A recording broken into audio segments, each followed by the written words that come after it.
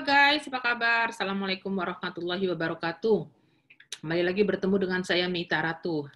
Ada beberapa hal yang mau saya cover uh, sehubungan dengan uh, presentation saya atau Zoom meeting kita kemarin hari Jumat. Terima kasih sudah yang hadir. Uh, sudah saya upload juga ke YouTube. Nah, ada satu hal yang mau saya cover lebih detail dan lebih rinci adalah bagaimana caranya menghitung cost of living Kemudian berapa income yang diterima oleh student yang bekerja di Kanada selama kuliah dan bagaimana caranya agar Anda bisa menghemat sehingga uh, biaya hidup Anda itu bisa lebih rendah dan Anda bisa punya tabungan selama sekolah di Kanada. Ya, saya udah bikinkan uh, Excel spreadsheet-nya, jadi Anda bisa melihat uh, angka-angka tersebut dan ini bisa menjadi gambaran untuk Anda yang mau sekolah di Kanada atau yang mau datang ke Kanada sebagai workers, apa student, sebagai professional, sebagai calon permanent residents. This is uh, apa a basic guidance from me yang uh, sudah tinggal di Kanada selama hampir uh, 11 tahun dan ini perhitungan yang menurut saya sangat basic, sederhana dan simple dan tidak merupakan acuan buat uh, siapa pun tapi diri saya melakukan ini karena memang ini sudah artinya menjadi pengalaman semenjak tinggal di Kanada dan ini juga saya berikan kepada student yang mau datang dan biasanya mereka juga uh, mengerti dan akhirnya mereka melakukan hal yang sama terutama untuk proses bagaimana cara menghematnya ya. Oke kita mulai. Saya share screen-nya. Oke, intinya kan yang Anda harus tahu bahwa uh, upah minimumnya itu berapa? Banyak yang tanya ke saya. Upah minimum di BC Province di mana saya tinggal, British Columbia adalah per Jun per Juni 2020 adalah 14.60 dolar. 14 dolar 60 sen ini per hour ya guys, per jam. Oke, okay, uh, referensinya dari mana? Just in case somebody ask. Oke, okay, referensinya dari sini. Oke, okay, ini lihat ini semua adalah dari pemerintah uh, Kanada secara keseluruhan ya, dan ini adalah the current minimum wage atau the current upah minimum across Kanada, jadi seluruh Kanada. Anda bisa lihat di sini per province, satu Alberta, 15 dolar per jam efektif Oktober 1st 2018. Oke. Okay. Kemudian British Columbia segini uh, per June 2020, ini saya besarin aja biar kelihatan. Oke, okay, ya. Kemudian nanti akan naik lagi tahun 2021 15 dolar 20. Tapi sampai hari ini tentunya kita menggunakan rate yang ini. Artinya employer kalau mau kasih gaji ke Anda ya. Yang kedua Manitoba misalnya, dia lebih rendah. Juga sebagai gambaran bahwa kalau misalnya upah minimumnya lebih rendah ya cost of living-nya juga lebih rendah karena selalu eh, cara government melakukan perhitungan upah minimum itu juga uh, related atau relevan dengan cost of living-nya, ya. Jadi artinya gini, kalau misalnya Anda bekerja di Manitoba, ya berarti menggunakan uh, menggunakan upah minimum ini ya maka cost of living Anda juga related dengan upah minimum tersebut. Jadi nggak mungkin cost of living-nya itu menggunakan jadi tinggi gara-gara misalnya menggunakan ukurannya British Columbia ya enggak ya. Nah, New Brunswick juga cukup rendah. Uh, ini upah minimumnya rendah atau tidaknya ya tergantung dari si provinsi itu ya. Saya nggak bisa bilang ini rendah ya karena mungkin cost of living-nya rendah. Di sini uh, upah minimumnya tinggi karena memang British Columbia cost living-nya cost of living-nya tinggi. Makanya saya bilang sama student, kalau kamu mau cari sekolah yang cost of living-nya rendah, maka kamu lihat ini provinsinya yang upah minimumnya rendah, berarti dia cost of living-nya juga cukup rendah.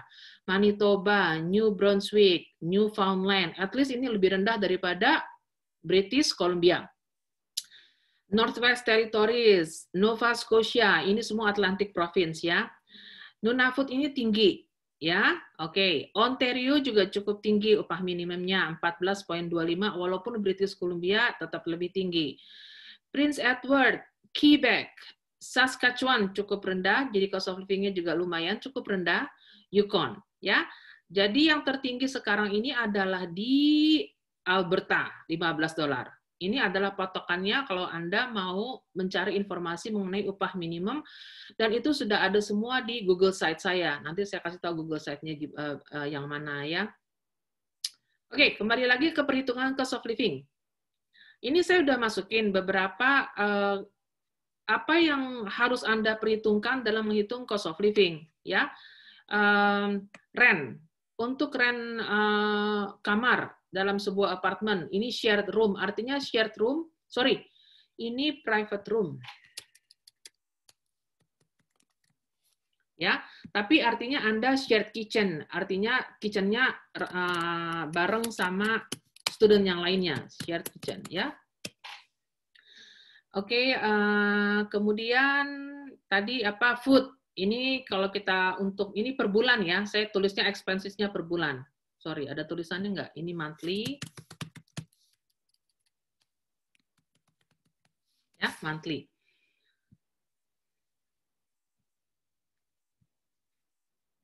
Oke, okay. kemudian utilities ini heat, uh, kita, kalau kita sebutnya misalnya bayar listrik, misalnya 40. Clothingnya, misalnya mau beli-beli baju, saya taruh sekitar 100. Transportationnya 131. Nah, ini adalah bus pass. Bas-pas itu, hmm, nah ini saya tunjukin supaya ada eh, teman-teman semua tahu. Sebentar, saya stop sharing. Oke, okay. nih ini bas-pas. Kompas card untuk yang adult, ini untuk yang eh, anak-anak, uh, namanya concession. Ya, ini kita gunakan untuk kalau kita pergi menggunakan public transportation. Nah, bus-pass ini uh, digunakan untuk naik bus, naik train, naik sea bus. Sea bus itu semacam ferry kecil-kecilan gitu yang bisa kita transfer. Uh, sorry, kita misalnya mau dari Vancouver ke Victoria. Nah, itu kita harus naik ferry. Kita bisa menggunakan bus pass ini ya untuk yang adult, untuk yang anak-anak pakai yang ini. Ini untuk British Columbia ya. Jadi untuk yang tinggal di Ontario, misalnya student tinggal di Ontario agak berbeda. Nah, kemudian bayar lagi internet 150, bayar cellphone. Cellphone itu artinya kan Anda kalau punya cellphone, artinya ini HP ya, seluler. Nah, itu kan harus bayar data. Kalau kita disebutnya Jakarta bayar kuota. Nah, itu bayarnya tuh per bulan ada yang 75, ada yang 100. Saya masukin aja yang rata-rata 75. Tergantung dari providernya masing-masing. Kalau di Indonesia itu misalnya Telkomsel, Excelcom, Indosat, di sini macam-macam juga ada Bell, ada Freedom, Rogers, ada Kudo, tergantung, pilih. Kalau menurut saya sih, nanti saya kasih tipsnya. Sorry, saya kasih tipsnya gimana caranya supaya jangan ambil yang mahal-mahal.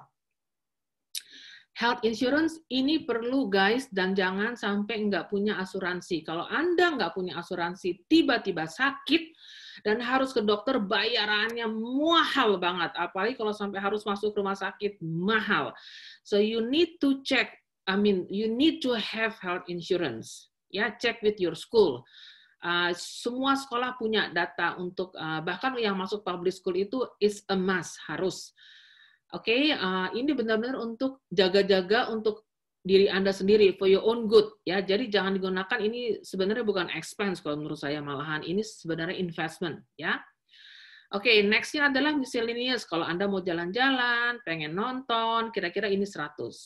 Oke, sekarang tipsnya gimana untuk menghemat? Karena kalau Anda lihat, ini expensesnya lebih besar daripada Anda yang misalnya udah bisa kerja, income-nya cuma 1108. Nih, saya saya color biar kelihatan. Oops, sorry. Oke, kalau 1168, kemudian expensesnya itu 1506, ya kan? Berarti kan Anda nombok nih, ya kan? Ya. Oh, sorry, terbalik. Oke, okay, ini uh, eh, 1168 gajinya dikurang 1506. Oke. Okay. Berarti Anda nombok atau Bu, kurang dong Bu saya.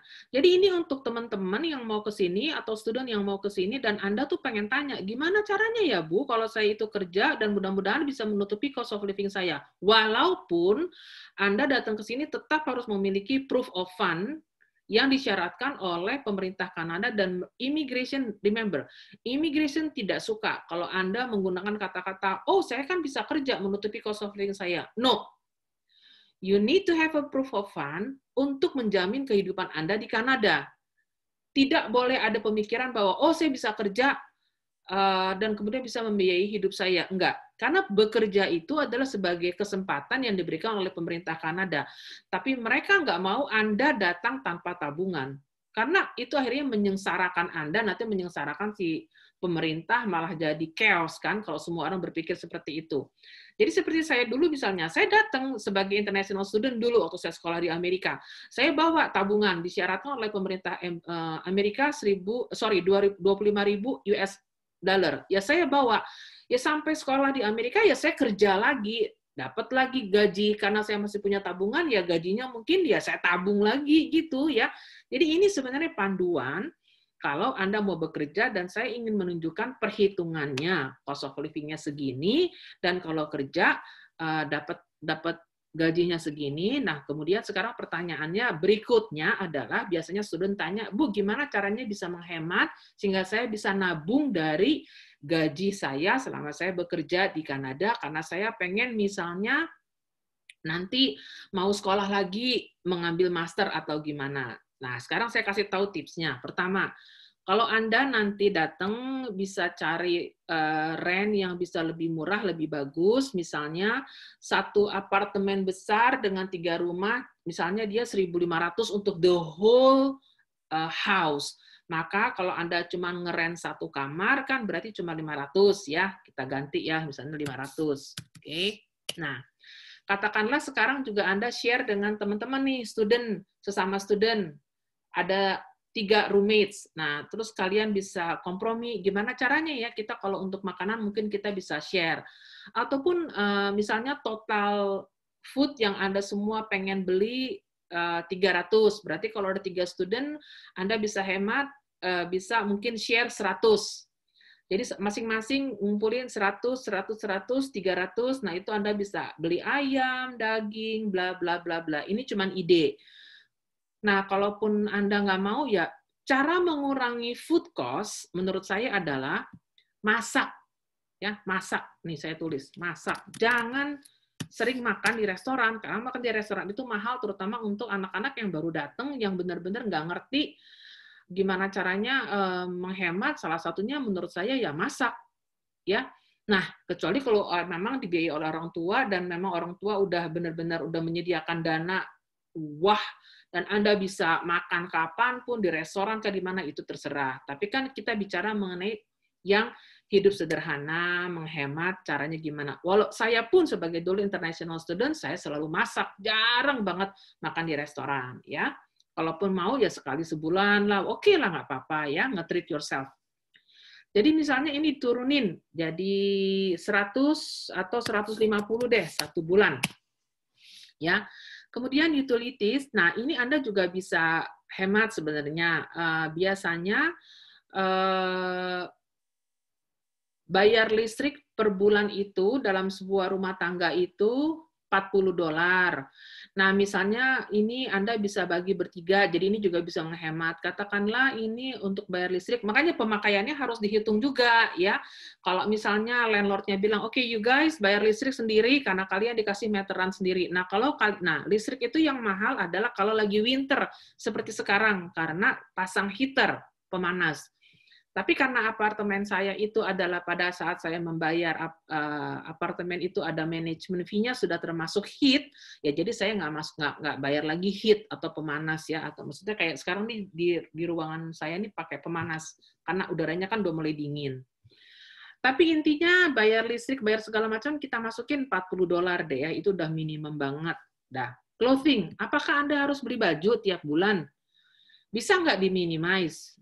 Baju yang ada dari Indonesia dipakai yang bagus-bagus, maksudnya jaket segala macam dari Indonesia dipakai dulu sampai Anda settle banget dan kalau perlu beli baju ya beli satu atau dua ya. Jadi katakanlah kita kurangin untuk uang baju kira-kira 50 deh. Ya, misal atau 75. Ya, oke. Okay. Transportation. Nah, ini caranya ini yang paling bisa untuk menghemat. Kalau Anda, saya kasih tahu caranya begini. Kalau Anda ini ada panduannya dari pemerintah, eh, terutama untuk pemerintah yang ada di Provinsi British Columbia. Ini namanya ada Fair Zone Map. Nih ya, kita ini pakai zone, sama juga seperti di Jakarta sebenarnya. Zone yang uh, di Kebayoran, di Bekasi, di mana-mana itu beda-beda kan zonnya. Di Jakarta, di Vancouver, di Kanada juga sama. Untuk kita yang di Vancouver, misalnya Anda sekolah di Vancouver, ya, maka ini satu zone. Maka ini bisa menghemat kalau misalnya Anda beli bus pass ini tadi nih ya. Kalau misalnya satu zone itu lebih murah, dia itu 98. Jadi bukan 31. Bukan 131, tapi gimana caranya? Ya Anda itu um, misalnya sekolahnya di Vancouver, usahakan ya cari tempat tinggal di Vancouver, tapi share karena Vancouver ini kan kota yang mahal. Tapi kalau Anda mau tinggal misalnya di New Westminster nih, dulu saya pernah tinggal di New Westminster, berarti Anda kena dua zone. Ya udah nggak apa-apa. Kalau di New Westminster, kita balik lagi ke sini. Anda kena dua zone, transportation-nya 131, ya kan? Tapi karena New Westminster itu daerahnya murah, mungkin Anda bisa dapat rent yang lebih murah, misalnya cuma 400. Nah, jadi Anda 400 di sini. Ya, gitu caranya. Ya. Nah, paling gampang adalah yaitu tadi uh, you play around with the zone. Ya, jadi kalau memang pengen tinggal di Vancouver, student saya ya nggak apa-apa. Mereka usaha cari kamar yang nggak begitu mahal. Kalaupun nggak dapat, tapi mereka bayar tadi kopas kartnya cuma satu zone, ya. Kalau memang mau tinggal di daerah Burnaby atau New Westminster, maka Anda kena dua zone, tetapi mungkin cost of rent-nya itu lebih murah. ya. Oke, sekarang hmm, internet. Internet kan itu satu rumah pakai internet, pakai kabel ya. Nah itu bisa share juga sama teman-teman. Kalau misalnya internetnya misalnya 150 dan ada tiga orang ya share, berarti kan bisa dibagi tiga. Jadi satu orang misalnya 50.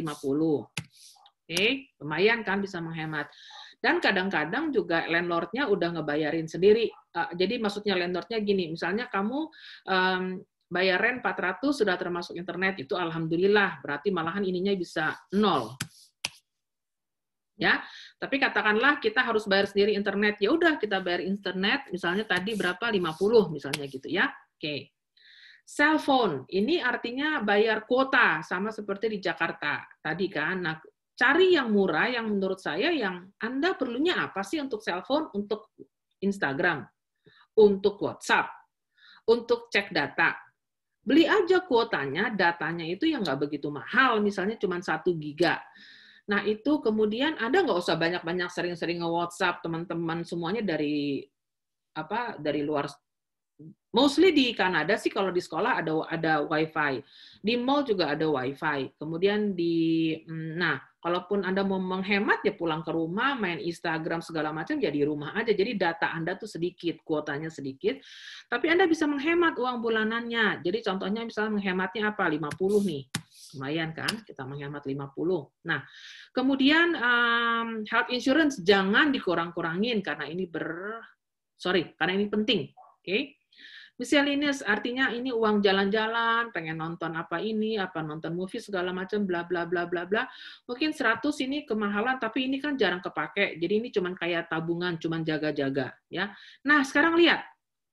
Anda sudah berkurang nih cost of living-nya menjadi 1056. Ada nggak tabungan? Kita hitung lagi sekarang. Ya kan tabungannya. Anda uh, apa uh, gajinya 1168 kalau kerja 20 jam, kemudian Anda punya expense-nya 156. Ya, nah, lumayan kan? Ada tabungan 112. Nah, sekarang gimana lagi, Bu? Bisa saya meningkatkan tabungan saya? Kalau Anda kerja pada masa eh, semester, artinya regular semester, itu kan nggak boleh lebih dari 20 jam seminggunya. Perhitungan gaji ini kan adalah 20 jam Anda uh, kerja seminggu, ini saya hitung gaji bulanannya. Tetapi kalau misalnya masa liburan seperti Natal, sebentar lagi kan kita mau masuk Natal, karena sekarang udah Oktober akhir ya. Nah, kemudian kita sekarang mau masuk Natal, misalnya sudah mulai banyak hiring untuk holiday season. Nah, Anda jauh-jauh hari ini udah ngomong nih sama employer Anda tempat bekerja, misalnya di restoran atau di mall, bilang, saya Natal, itu di liburan Natal, itu biasanya 17 Desember sampai tahun baru. Jadi Anda ada dua minggu libur. Bilang sama employernya, saya dibolehkan nih bekerja lebih dari 20 jam, berarti saya mau kerja sekitar 40 jam. Maka Anda bisa menghasilkan 2.336 kalau 40 tapi hanya dua minggu memang tapi kan nggak apa-apa bisa di bisa untuk tambah nambah tabungan kan jadi contoh misalnya gaji anda nih selama anda bekerja selama dua minggu ya full time 40 jam 2336 dikurangin tadi expense-nya 1056 lihat tabungannya uh, sorry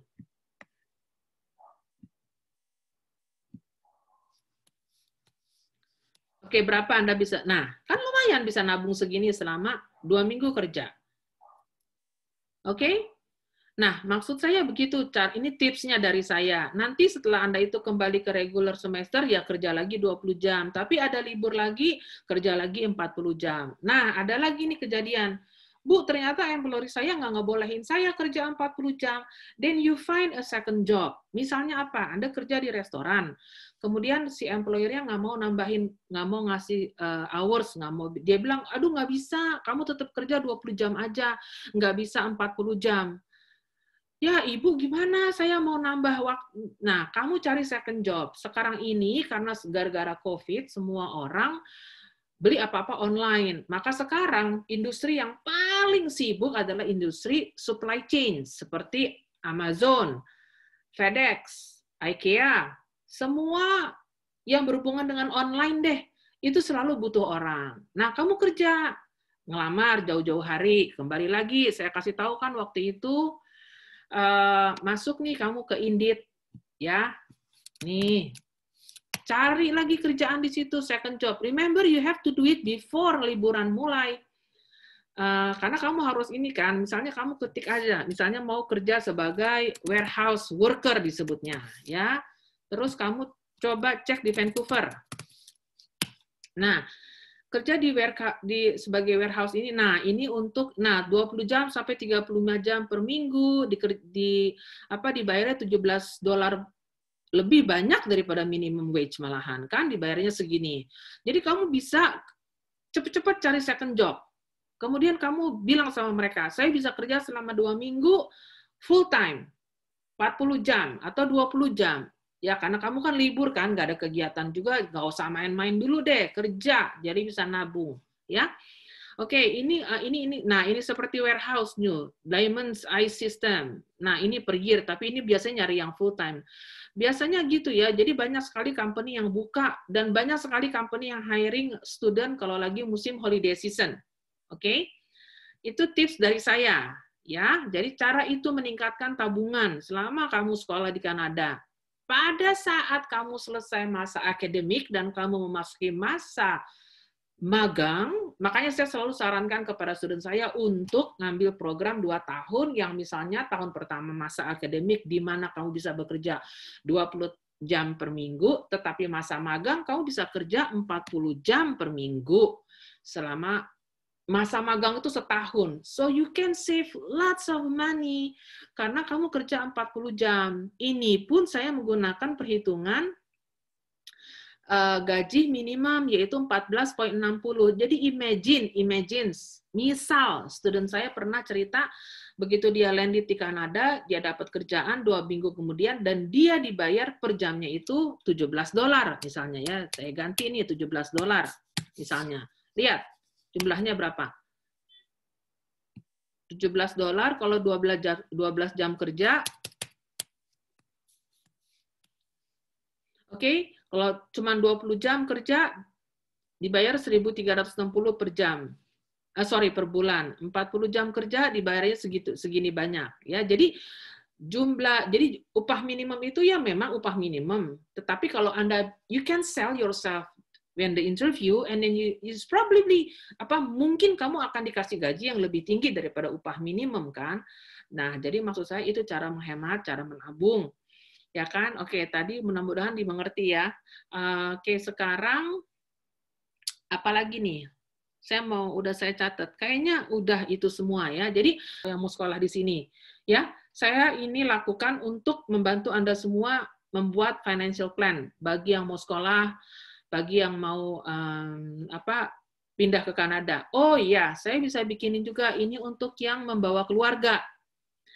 Pada dasarnya yang membawa keluarga itu um, ini saya saya hapus dulu biar nggak bingung ya. Yang membawa keluarga itu agak beda perhitungannya daripada yang single. Oke, contohnya. Ini saya rubah lagi. Hmm, 1460. Kemudian ini juga 1460 ya. Sorry kalau agak kepanjangan, tapi ini supaya bisa detail. ya. Oke, untuk misalnya Anda yang sudah diterima, uh, oke, okay, Anda yang udah approve permanent residentnya mau pindah, Bu, bagaimana perhitungan cost of living-nya? Misalnya karena Anda memiliki dua anak atau tiga anak, jadi harus rent rumah, ya kan? Rumah, the whole rumah, atau the whole apartment, gitu kan? Dan itu dulu saya rent misalnya uh, satu apartemen dua kamar. Dan itu waktu itu saya bayar sekitar 1.100, tapi sekarang udah lebih mahal. Mungkin sekarang 1.500 misalnya di daerah New Westminster, ya. Oke, kemudian Anda foodnya karena ini seluruh keluarga yang nggak bisa di-share-share, ya berarti mungkin lebih mahal kan, karena ini kan untuk ayah, ibu, dan tiga anak misalnya gitu. Maka foodnya itu kira-kira mungkin sekitar 300 misalnya ya. Oke, utilitiesnya kalau Anda rent, biasanya ini sudah termasuk, bukan utilities listrik, tapi utilities untuk heat. Untuk listriknya, Anda tetap bayar eh, uh, 40 misalnya, per bulan ya, ini per bulan, remember clothingnya ya oke okay deh kita kasih misalnya uh, oke okay, kita budgetin misalnya 100 ya mau beli-beli baju. Kalau saya sih jarang ya, maksudnya saya dulu bawa semua dari Indonesia, jaket juga saya udah prepare semua dari saya beli di Bandung, saya beli di mana pun, semua jaket anak-anak saya udah beli karena quality Indonesia itu one of the best dan saya beli untuk yang winter clothing semuanya itu di Jakarta di Mangga 2 malahan itu ada di lantai 3 khusus untuk jaket-jaket yang quality export dan ternyata keren banget. Kita main ke Gunung Salju, anak-anak seneng dan nggak kedinginan karena memang quality dari jaket itu adalah jaket untuk quality export dan uh, Rusia malahan ukurannya kan Kanada nggak sedingin Rusia lah gitu ya. Nah, oke. Okay. Transportation, nah ini dia. Untuk yang punya anak, sorry, 131 ini saya hitung untuk dua zone. Jadi ayahnya aja misalnya yang kerja, berarti ayahnya naik bus ya. Misalnya untuk anak juga diperlukan nih, tadi kan, uh, untuk anak misalnya 58, jadi harus ditambah. Jadi makanya saya masukin misalnya transportation 300 misalnya gitu ya. Agak mahal memang kalau untuk yang berkeluarga. Caranya adalah menghemat untuk yang berkeluarga seperti yang tadi saya bilang. Kalau Anda sudah tahu mau tinggal di mana, kemudian Anda mencari apartemen yang dekat dengan sekolah supaya anak-anak bisa jalan kaki, nggak perlu bayar bus pass, ya kan? Keseharian mereka jalan kaki selain sehat juga menghemat biaya transportation ya. Itu dia. Waktu itu saya anak-anak nggak pernah bayar-bayar bus pass karena mereka dari SD sampai SMA mereka jalan kaki. Jadi saya pilih rumah pilih apartemen yang deket sama sekolah anak-anak SD kemudian mereka sampai SMP pindah ke SMA juga deket jadi sampai SMA saya bisa menghemat biaya transportation dan juga pasti menghemat biaya sekolah karena memang kita nggak pernah bayar uang sekolah ya karena anak-anak sampai SMA kan ditanggung sama pemerintah. Oke, okay, cellphone, internet, kalau sekeluarga berarti nggak bisa 50, mungkin Anda bayar sekitar 150. Oke, okay, ya. Cellphone, again, ini bisa menghemat 50 cukup lah ya. Kuota-kuotanya nggak usah macam-macam. Mau mau WhatsApp segala macam, pulang ke rumah WhatsApp pakai WiFi yang ada di rumah. Health insurance, oke, okay, ini nggak bisa menghemat. Jadi karena Anda punya keluarga, ada kemungkinan Anda harus bayar lebih mahal. Tetapi kalau Anda bekerja full time di sebuah company perusahaan mana pun, setelah Anda lulus masa probation, Anda pasti ditawarin apakah ingin ikut, oh sorry, di cover health benefit-nya oleh perusahaan tersebut, ya. Nah, di covernya itu very basic, jadi uh, tapi cukup, cukup gitu. Nah, biasanya ada lagi tambahan untuk gigi, untuk kacamata segala macam itu nggak mahal. Nah, jadi usahakan kalau bekerja itu setelah tiga bulan masa probation selesai, kamu ke HR dan kamu bilang, Pak, saya uh, Bu atau siapa pun lah, saya pengen ikut health benefit untuk saya, istri atau suami dan anak-anak.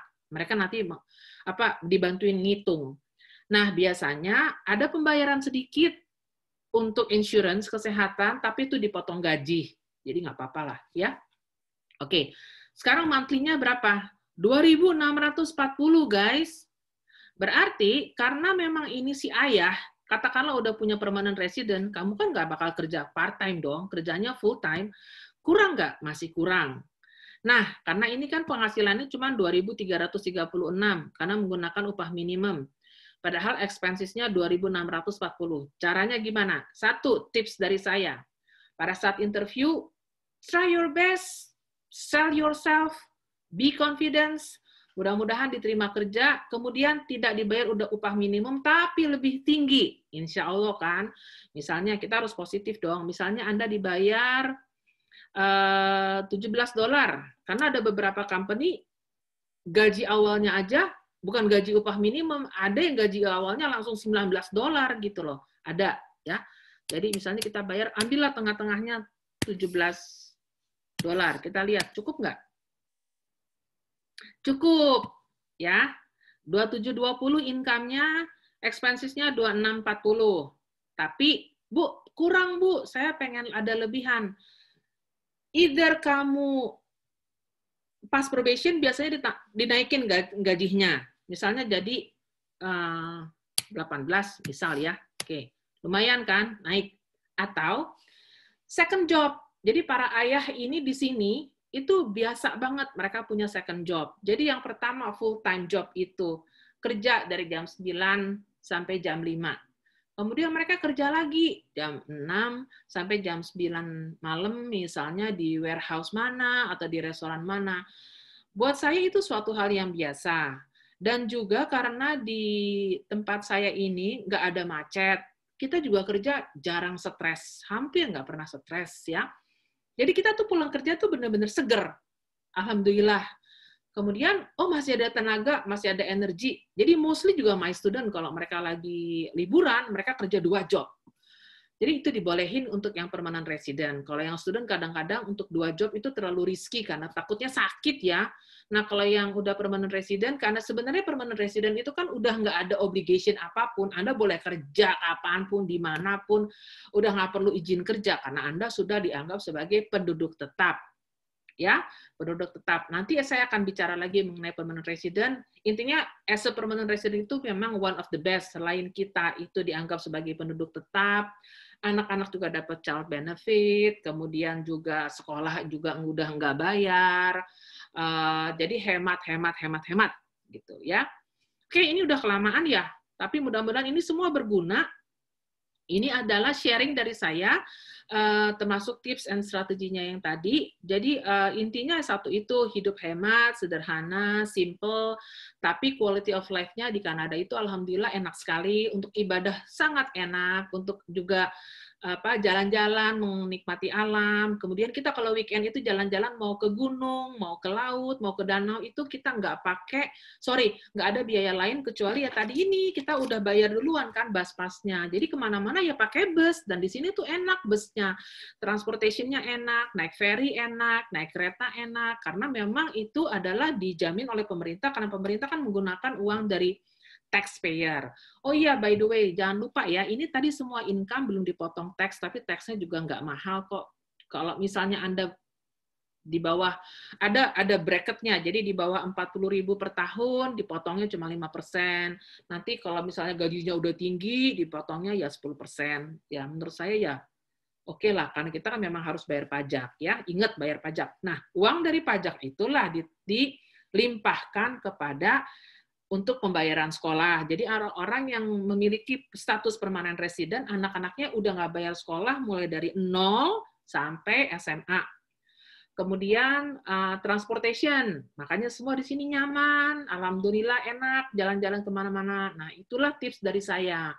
Jadi bagi yang student ke sini, silahkan lihat ini semua, pelajari, and then bikin financial plan for yourself. Let me know kalau Anda sudah siap untuk datang sebagai student. Permanent resident ini bisa dijadikan acuan, karena inilah yang saya lakukan pada saat saya pertama kali landed di Kanada. Ya, hopefully ini berguna uh, saya akan upload terus konten-konten yang lainnya yang mudah-mudahan berguna. Sampai jumpa. Selamat sore dari Kanada. Assalamualaikum warahmatullahi wabarakatuh. Bye. Thank you so much everyone.